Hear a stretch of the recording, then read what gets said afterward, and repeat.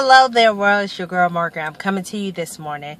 I had to pull over because I felt something strongly go through me and I needed to share this uh, with the world. And that is, you have what it takes to be successful. Now, some people measure success as far as the money you have or the house you live in or the car you drive. But success goes even deeper than that. Success begins with an accomplishment, something that you have accomplished in your life that maybe you thought you would never accomplish. You know, at first, I never looked at myself being successful as a mother because I was always focused on, well, I'm a single mother with four sons.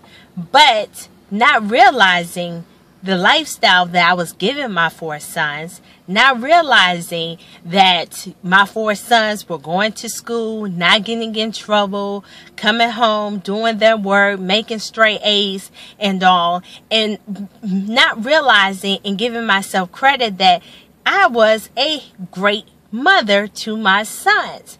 And so when I began to look at the small things, and I even had who's now my husband, he told me, he was like, You have done a great accomplishment in raising your sons while you was a single mother.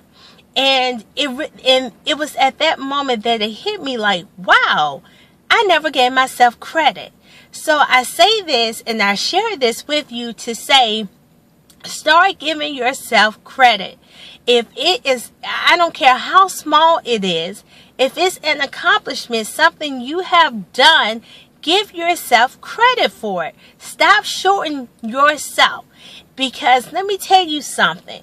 If you don't uplift yourself, if you don't boost yourself, if you don't give yourself a pat on your back and toot to your horns every now and then, I'm telling you, no one else will.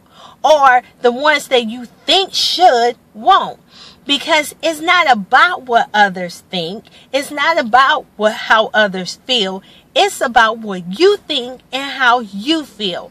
And um, I just feel that a lot of times people are depressed, sad, and all because they feel like they're living a life and they have no sense of accomplishment. Well, doggone it, it's time to erase that depression, sadness, anxiety, whatever, out your life and start tuning your own doggone horn. You got to remember, and this is stated in Genesis, the Bible. And yes, I'm a Bible reader and believer. And for those of you who aren't, well, you know, whatever you all believe in, pull upon that as long as it's positive, okay? But it states in Genesis that we were created in His image. That means, um, that we were created in the image of God and in the likeness of him.